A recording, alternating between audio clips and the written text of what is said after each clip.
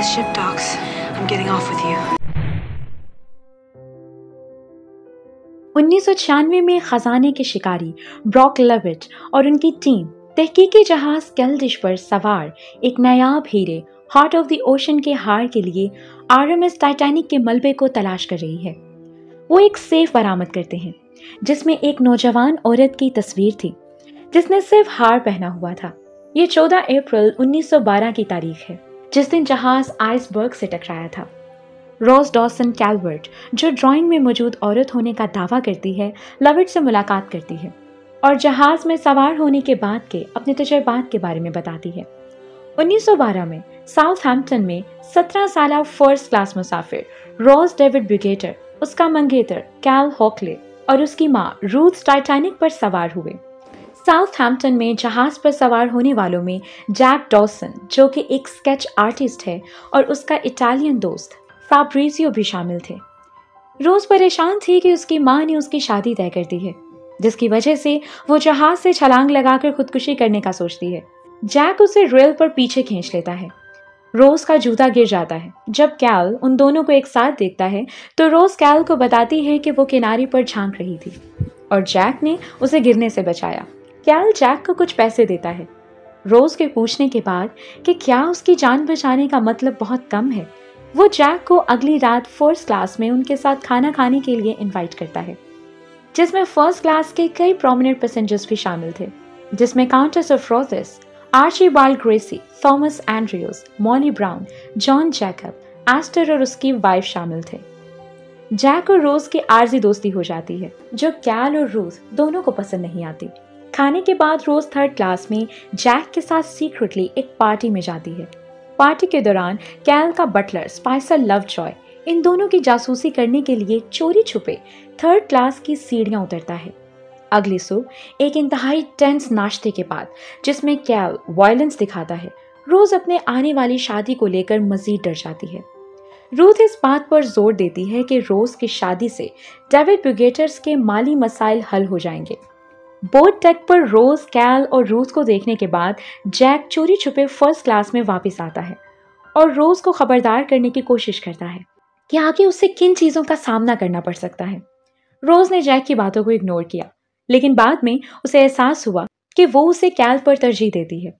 Sunset के वक्त, बो पर मुलाकात के बाद रोज जैक को अपने स्टेट रूम में ले जाती है और कैल की तरफ़ से दिया गया मंगनी का तोहफा, the heart of the ocean दिखाती है। उसकी रिक्वेस्ट पर जैक रोज के ये नेकलेस पहने हुए न्यूड पोस्ट स्केच करता है।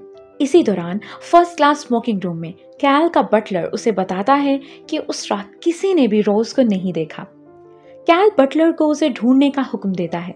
रोज और जैक कैल के बॉडीगार्ड से बच जाते हैं और कार्गो होल्ड के अंदर एक ऑटोमोबाइल में ताल्लुकात कायम करते हैं। इसके बाद वो फॉरवर्ड वेल डेक विज़िट करते हैं। इस दौरान लुकआउट्स को जहाज़ के रास्ते में बराह रास्त एक आइसबर्ग नज़र आता है। जहाज़ को हार्ड स्टार बोर्ड मोड़ने और इंजन को मुकम्मल अस्टन चलाने के अहकाम दिए जाते हैं। लेकिन जहाज़ को मोड़ने में बहुत ज़्यादा वक्त लगता है और जहाज़ स्टार बोर्ड की तरफ़ से आइसबर्ग के साथ टकरा जाता है, जिससे कार्गो होल्ड समेत वाटर टाइट कंपार्टमेंट्स को काफ़ी नुकसान पहुँचता है। जैक और रोज ऑटोमोबाइल में थे।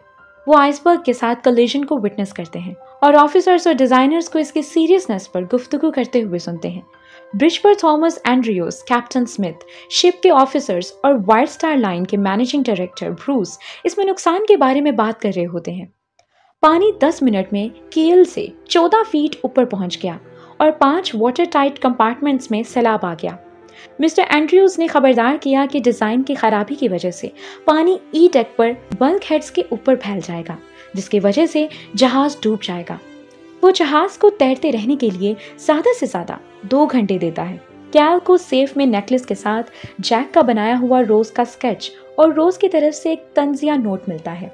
जब जैक और रोज ने कैल को कलेशन के बारे में बताने की कोशिश की तो उसने अपने बटलर का हार जैक की जेब में डाला और इस पर चोरी का इल्ज़ाम लगाया। उसे गिरफ़्तार कर लिया जाता है। मास्टर एट आर्म्स के ऑफ़िस ले जाया जाता है और उसे वहाँ पाइप के साथ हथकड़ियाँ लगा दी जाती हैं। कैल ने नेकलेस अपनी कोट की जेब में डाला। जहाज़ के डूबने के साथ रोज जैक को आज़ाद कराने के लिए बेचैन है। वो कैल और अपनी माँ से भागती है, जो लाइफ बोट में सवार होती है और उसे बचाती है।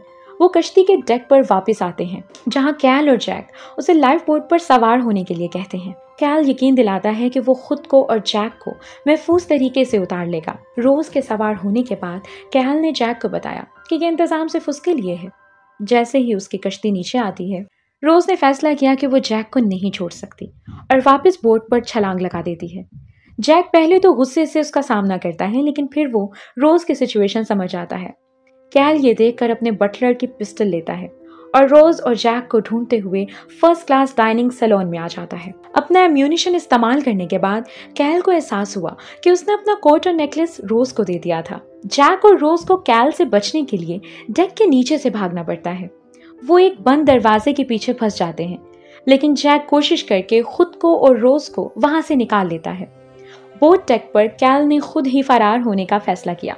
वो फ़र्स्ट ऑफिसर को पहले किए गए इंतज़ाम याद दिलाता है, लेकिन ऑफिसर गुस्से से कैल को बोर्डिंग की इजाज़त देने से इनकार कर देता है।